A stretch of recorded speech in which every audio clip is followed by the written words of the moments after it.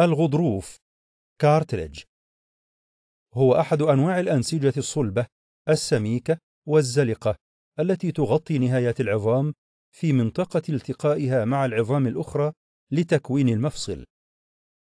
وللغضروف عدة وظائف في جسم الإنسان تتمثل في: واحد يشكل سطوحا ملساء لتقليل الاحتكاك بين المفاصل مما يدعم وزن الجسم عند القيام بأنشطة الركض، الانحناء، التمدد.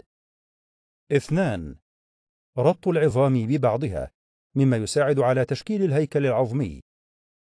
ثلاثة تكوين بعض أجزاء الجسم مثل الأجزاء الخارجية للأذن. تركيب الغضروف يتكون من خلايا غضروفية والتي تنقسم بدورها إلى خلايا غضروفية فتية وهي عبارة عن خلايا قاعدية تمتلك نواة بيضاوية وتوجد في محيط الغضروف وتحت النسيج المحيط بالغضروف. خلايا غضروفية ناضجة.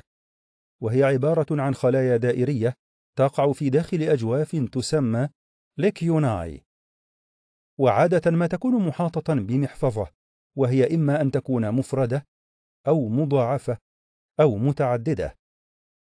وهذه الخلايا تحتوي على نواة كبيرة. مع نوية أو نويتين.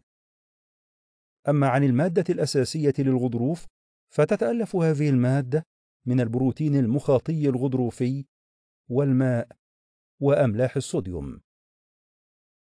أنواع الغضروف للغضروف ثلاثة أنواع وهي واحد الغضروف الزجاجي وهو شفاف بلون أزرق محاط عادة بغشاء وعائي يتألف من طبقة ليفية وطبقة من الخلايا الغضروفية.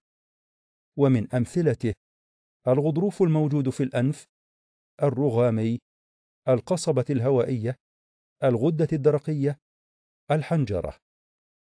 اثنان الغضروف الليفي المرن. ويكثر وجوده في صوان الأذن القناة السمعية قناة أوستاكي.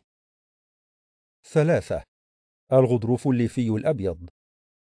ويوجد بصورة رئيسية في الأقراص المفصلية بين الفقرات وبين عظم القص والترقوة وفي بعض غضاريف عظام الحوض.